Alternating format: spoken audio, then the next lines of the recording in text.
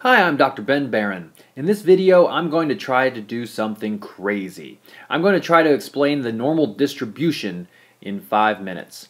The normal distribution is a fundamental concept in statistics, and statistics are vital for using data to manage people within an organization. The normal distribution is a concept that helps us figure out the probability of an outcome. For example, scores on a test, levels of employee performance, job satisfaction, etc. It's also a concept that helps us understand how much confidence we should have in a result.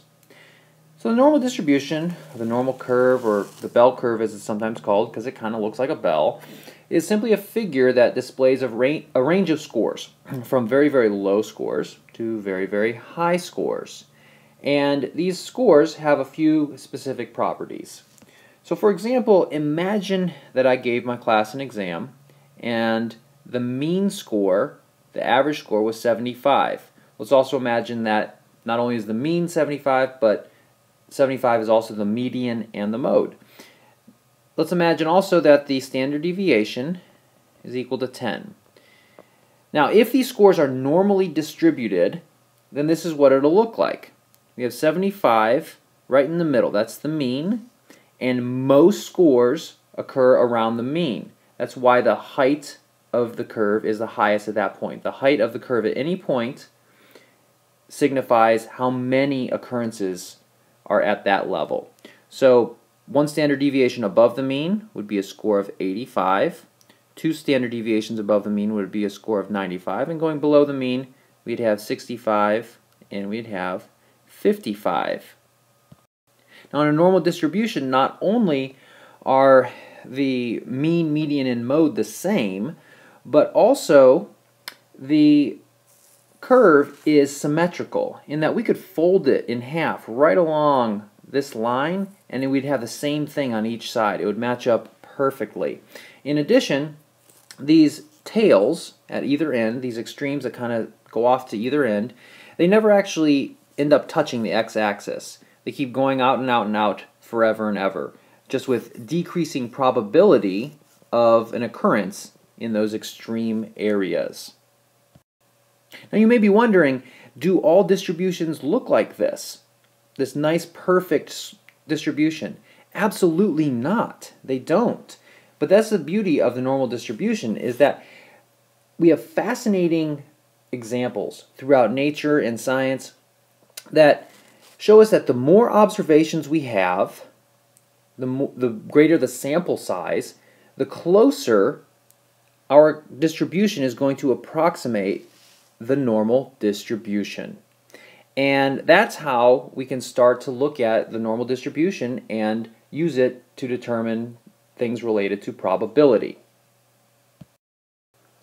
Let's keep in mind that this area under the curve represents the frequency of whatever we're measuring. In this case, test scores. So let's put those back in there. We've got 75 as our mean, 85 as one standard deviation above the mean, 95 as two standard deviations, and 65 and 55.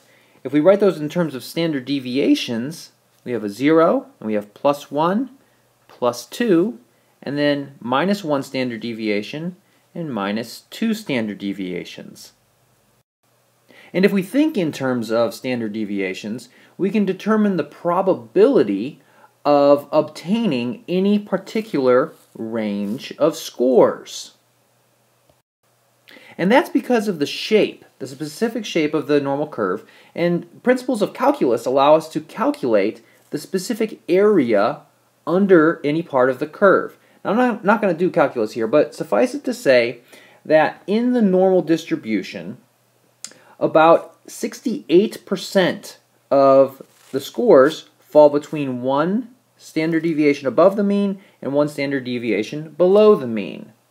About 13.6% of the scores fall between one and two standard deviations, both on the positive and negative side.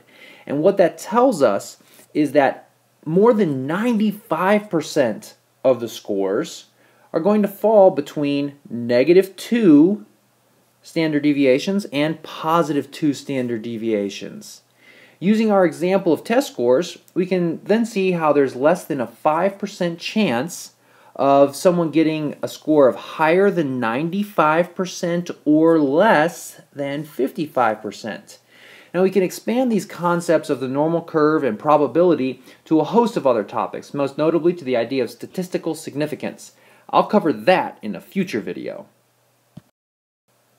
And that, my friends, is the normal distribution in five minutes. To learn more about this and other related topics, subscribe to my YouTube channel.